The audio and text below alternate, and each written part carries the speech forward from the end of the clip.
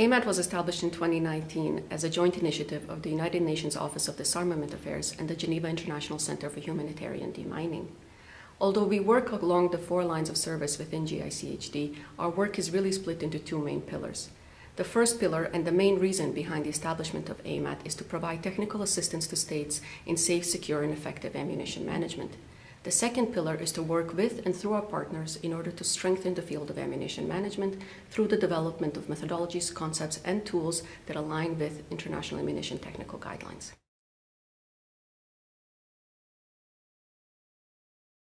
Yes, in 2020, we got an assistance request from the Republic of Moldova asking us to come in and do a, essentially a stock taking exercise or a review of their physical security and stockpile management practices for ammunition management, as well as a review of their national action plan. In October 2020, the AMAT team traveled to Moldova to carry out key stakeholder interviews with representatives of the Ministry of Defense and high ranking officers of the armed forces, and carry out ammunition storage area site visits in order to see how ammunition management practices are implemented on the ground.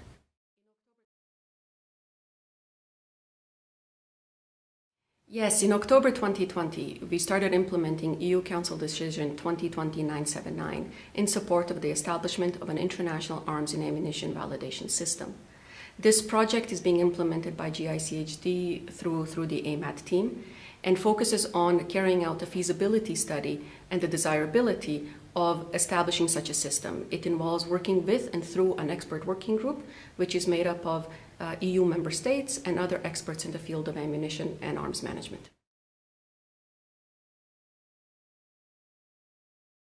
This project is important because it will be the first time for states to be able to claim, but also to be validated on their stockpile management practices in order to prevent accidental explosions and diversion of arms and ammunition from stockpiles.